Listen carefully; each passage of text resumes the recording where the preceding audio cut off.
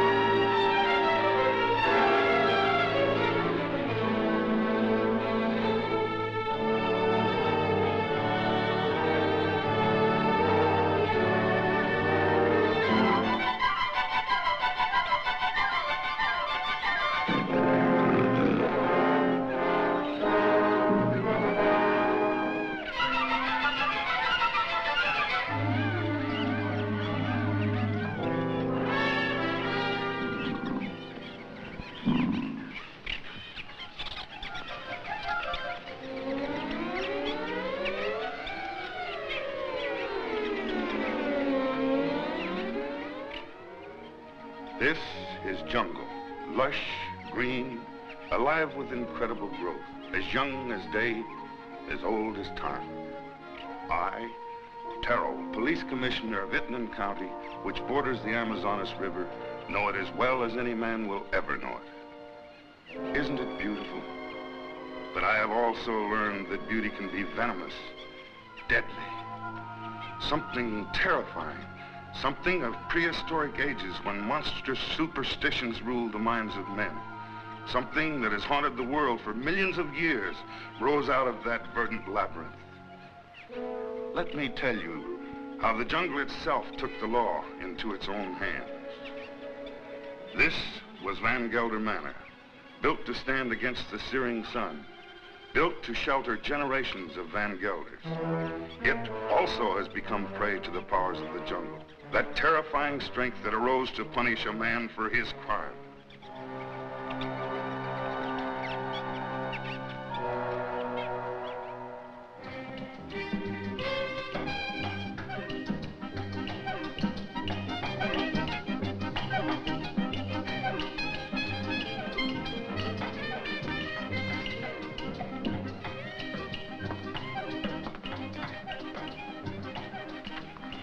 Hello, Barney. Good afternoon, Mrs. Van Gelder. It's been an unpleasant day. Your husband pays me to run his plantation, not to be killed by the heat. It's part of the job. Rubber's going up in price every day. I can't get enough workmen. When I do, they run away to go into business for themselves. Now, when they had slaves, Aren't we all slaves? sure. Not me. I'm free. You call this freedom? With bars in front of the windows? No, thank you, Lorena. This is no place for a beautiful woman. A woman like you ought to travel, wear pretty clothes, have some fun. Life runs away too fast if you don't hold on to it with both hands. My life is here with my husband. After all, he did offer to share his name and his home with me. You're confusing gratitude with love, Mrs. Van Gelder. There are other things much more important. A woman wants to be loved.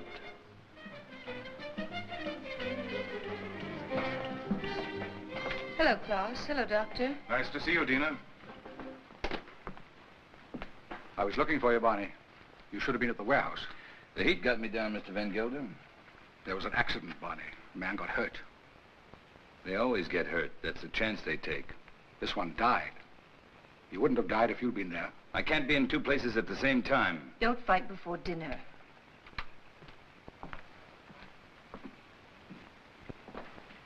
Pardon me, Dina. White people shouldn't live too long in the jungle.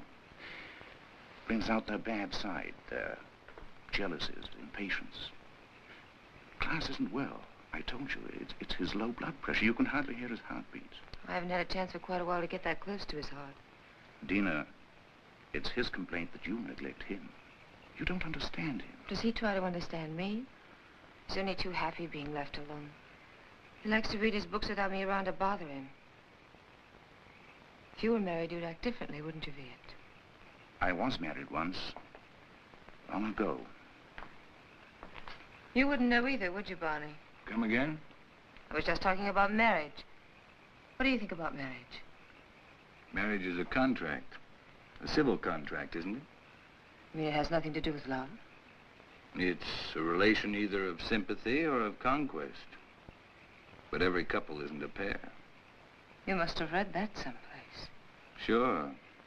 Everybody knows I can't think of anything clever. I, too, am not clever, Barney. But I know where to find wisdom.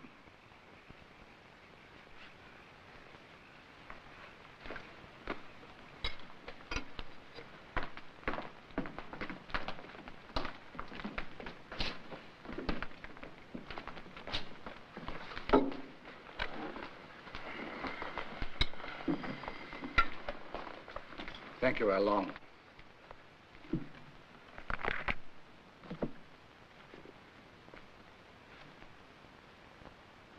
The heart is deceitful above all things and desperately wicked. Who can know it?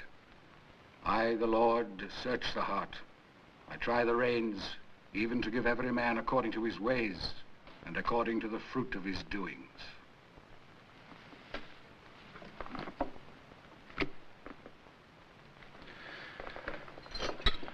We had a case of smallpox down in the harbor, Klaus. I think it'd be wise to inoculate all your workers. You know about the complaint of that worker and his daughter? It's my own business, Mr. Van Gelder. You're living in my house. I demand that you conduct yourself accordingly. You've not done so. You can pick up your pay and leave. It's all right with me. What's the matter? What are you mad at Barney for? I don't want him here any longer. Do you mind if I have my dinner first? Excuse me, will you? Stay here. What's gotten into him? I'll find out. Did you pick a fight with Klaus today? No. But I'm old enough not to be pushed around by anyone.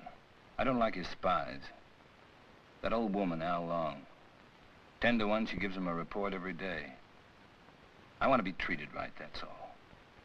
Just because he has money doesn't mean he owns me. Don't go away. Don't leave.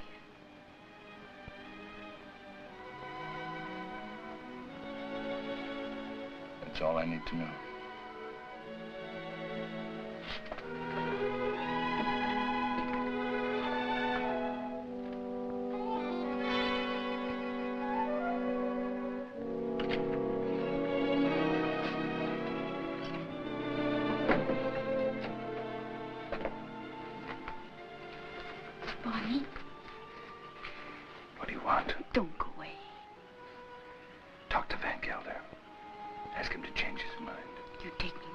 Remember, you promised.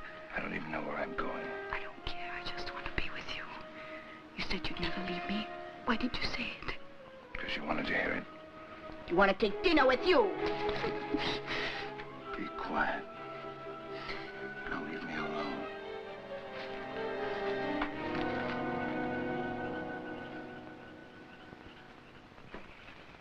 You shouldn't excite yourself.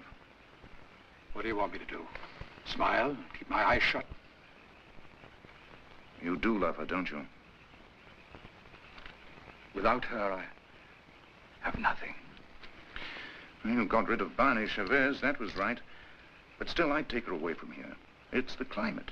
A woman buried in a place like this, uh, you must understand if she gets a little mixed up. You too like her, don't you? Of course.